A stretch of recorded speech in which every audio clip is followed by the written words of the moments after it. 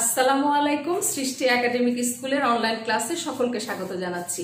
শিক্ষার্থীরা, কেমন আছো তোমরা? আলহামদুলিল্লাহ, তোমরা সবাই ভালো আছো এবং আমিও বেশ ভালো আছি। এবং আজকে আমরা অনলাইন ক্লাসে, তোমরা জানো, ধারাবাহিকভাবে আমাদের ক্লাসগুলো প্রকাশিত হচ্ছে এবং আমরা বিশ্বাস করি তোমরা আমাদের এই ক্লাসের সাথে যুক্ত আছো এবং ক্লাসগুলো থেকে তোমরা উপকৃত হচ্ছ। তো আমি আজকে আলোচনা করব নবম, দশম শ্রেণির বাংলাদেশ ও বিশ্ব পরিচয়। এর আগে আমি ক্লাস নিয়েছিলাম। পরিচ্ছেদ দুই দশমিক দুইয়ের এখন এক দুই দশমিক একের সরি দুই দশমিক একের আজকে আমরা আলোচনা করব পরিচ্ছেদ দুই দশমিক দুই। যেখানে আমার গত লাস্ট ক্লাসের একটা লাস্ট শব্দ ছিল, যেটা ছিল বাংলাদেশ পুনর্গঠন।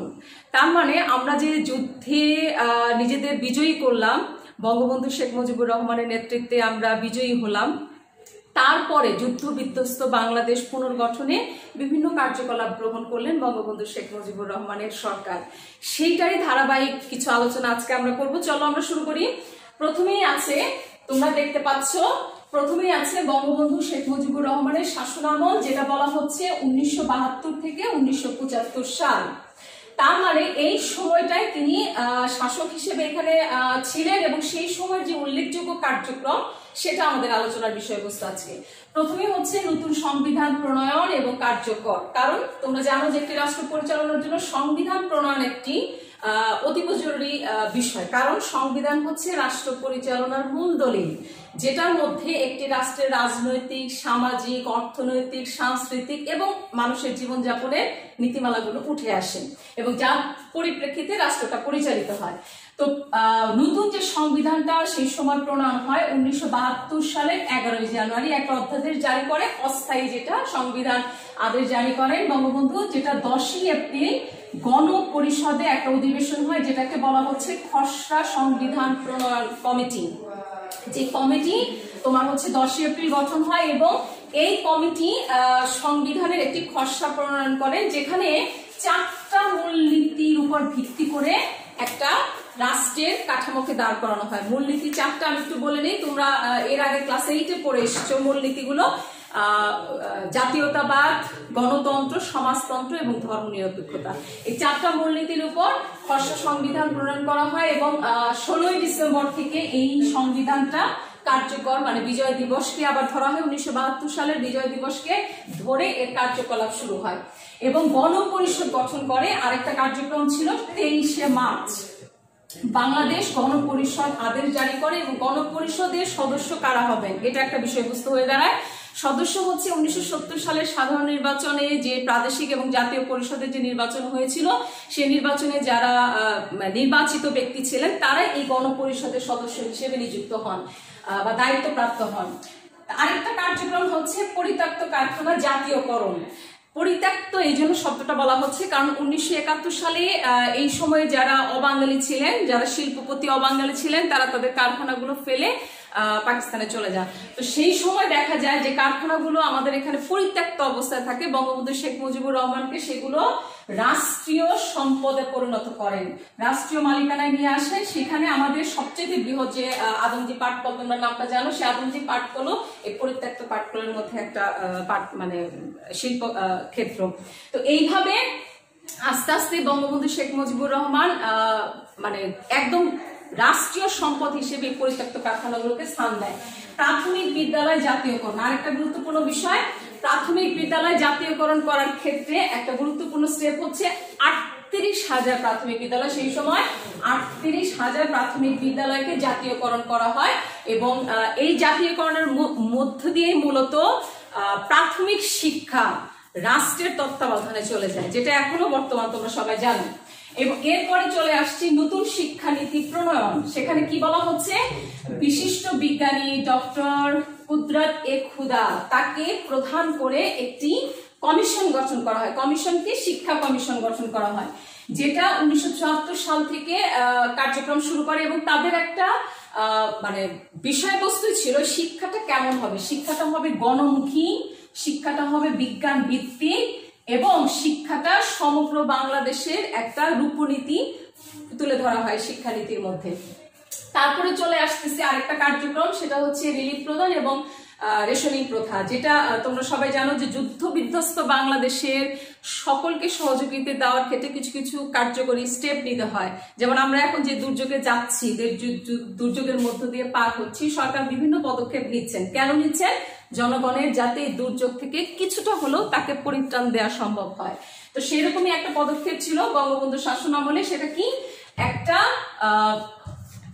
ব্যবস্থা করা রিলিফ প্রদানের ব্যবস্থা করে এবং রেশনিং প্রদানের ব্যবস্থা করে। এবং এর ফলশ্রুতিতে দেখা গেল যে বাংলাদেশের একদম শ্রমিক শ্রেণির ক্ষেত্রে, বিভিন্ন ক্ষেত্রে তোমার একটা সুবিধা চলে আসলো। এবং আরেকটা গুরুত্বপূর্ণ বিষয় হচ্ছে এখানে যে সেটা হচ্ছে যে বাংলাদেশের যুদ্ধ বিধ্বস্ত বাংলাদেশকে আবার পুনর্গঠনের করার পেছনে এইটা একটা মানে মানবিক পদক্ষেপ হিসেবে বিবেচিত হয়।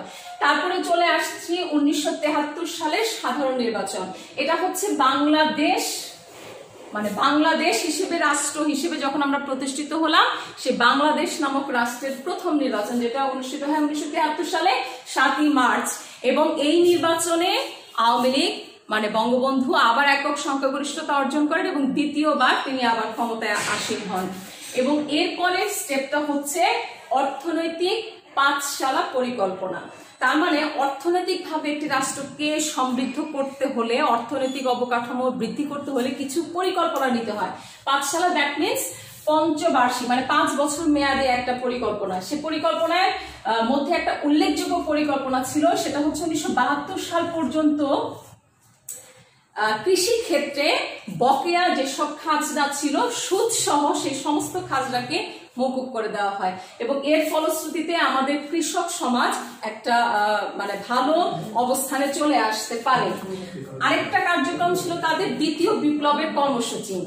এটাকে মানে যেটা বলা হয় গণমানুষের জীবন মান উন্নয়নের লক্ষ্যে আর্থসামাজিক এবং রাজনৈতিক ক্ষেত্রে একটা নতুন ব্যবস্থার প্রবর্তন করা। এটাই হচ্ছে দ্বিতীয় বিপ্লব, যেটা উনিশশো তেহাত্তর, চুয়াত্তর সালে যখন বন্যা হয় সরকার গঠনের পর তেহাত্তর একটা, চুয়াত্তরের মধ্যে বিশাল বন্যা হয়, আন্তর্জাতিক বাজারে খাদ্যের এবং তেলের মূল্য বেড়ে যায় অনেক, মূল্যস্ফীতি হয়। আন্তর্জাতিক বাজারে খাদ্যের এবং তেলের মূল্যস্ফীতি মানে অনেক দাম বেড়ে যায় এবং খাদ্য সংকটে পড়ে। এইরকম কর্মসূচি নানাবিধ কারণে বঙ্গবন্ধু সরকার একটা দ্বিতীয় বিপ্লব হিসেবে একটা কার্যক্রম হাতে নেন। এরপরে চলে আসছি আমরা পররাষ্ট্রনীতি, যেখানে কি বলা হচ্ছে? পররাষ্ট্র নীতি বলতে বোঝায় যে একটি রাষ্ট্র পরিচালনার জন্য অন্য রাষ্ট্রগুলোর সাথে একটা সুসম্পর্ক বজায় রেখে কাজ করতে হয়। কারণ আমরা পাশাপাশি সবগুলো রাষ্ট্রই বিরাজমান। তো স্বাভাবিকভাবে সেই রাষ্ট্রগুলোর সাথে বিভিন্ন ক্ষেত্রে সম্পর্কগুলো কেমন হবে কীভাবে আমরা আমাদের অর্থনৈতিক সমৃদ্ধি আরেকটা রাষ্ট্রের সাথে সম্পৃক্ত থেকে করতে পারি, এগুলোই হচ্ছে পররাষ্ট্র নীতির মধ্যে পড়ে। যেটার একটা বিষয় ছিল দশই জানুয়ারি ঢাকায় পদার্পণ করেন বঙ্গবন্ধু, তার প্রত্যাবর্তন প্রত্যাবর্তন দিবস, এবং তিনি একটা ঘোষণা দেন যে সকলের সাথে বন্ধুত্ব, কারোর সাথেই শত্রুতা নয়। তার এই ঘোষণার মধ্য দিয়ে দেখা যায় যে বহির্বিশ্বের একশো চল্লিশটা দেশ সেই সময় বাংলাদেশকে স্বাধীন সার্বভৌম রাষ্ট্র হিসেবে স্বীকৃতি দেয়, এবং বাংলাদেশের অর্থনৈতিক অনেক প্রেক্ষাপটে ভূমিকা রাখে। এর আগেও আমি তোমাদের ক্লাসে বলেছিলাম সোভিয়েত ইউনিয়নের কথা।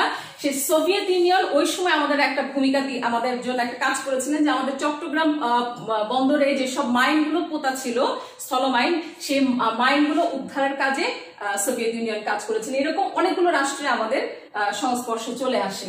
তারপরে আরেকটা কার্যক্রম হচ্ছে ভারতীয় মিত্র বাহিনী ফেরত। সেই সময় বঙ্গবন্ধু যখন দেশে আসলেন দশই জানুয়ারি তখন যখন তিনি দেশ গঠনের বিষয়ে কাজ করছিলেন, তখন তিনি ইন্দিরা গান্ধী সরকারকে অনুরোধ করেন যে আমাদের এখানে যে যৌথ কমান্ডে যারা মিত্র বাহিনীর সদস্যরা আছে, তাদের যেন তিনি দেশে ফিরিয়ে নেন। কারণ হচ্ছে সেই সময়ে তোমরা সবাই জানো, মুক্তিযুদ্ধের শেষ যুদ্ধটা যৌথ কমান্ড মানে বাংলাদেশের মুক্তি বাহিনী এবং ভারতীয় সৈন্যবাহিনী মিত্র বাহিনী মিলে পরিচালনা করা হয়।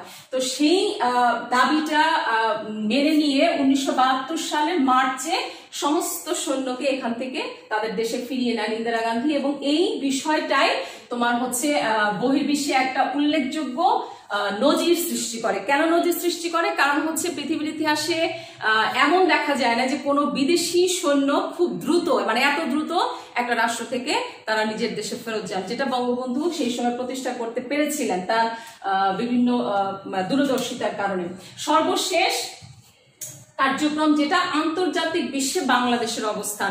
এখানে একটি বিষয় হচ্ছে যে সব সবসময় দেখা যাচ্ছে যে যে কাজগুলো করি সে কাজগুলোর ক্ষেত্রে বহির্বিশ্বের একটা অবদান থাকে। কিন্তু এখানে বাংলাদেশের ভাবমূর্তি উজ্জ্বল করার পেছনে বঙ্গবন্ধুর একটা ভূমিকা ছিল।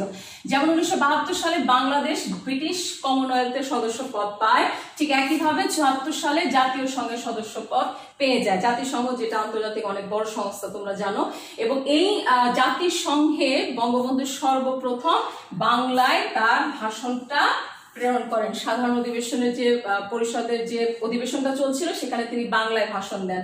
এবং এই কার্যক্রমের মধ্য দিয়ে এবং আরও যে উনিশশো বাহাত্তর থেকে পঁচাত্তর সাল পর্যন্ত যে বঙ্গবন্ধুর যে কার্যক্রম, দেশ গঠনের, পুনর্গঠনের যে কার্যক্রম, এই সব বিবেচনায় বিশ্ব শান্তি পরিষদ একটা শান্তি পদক দেন বঙ্গবন্ধুকে, সেটা হচ্ছে জুলিও কুরি।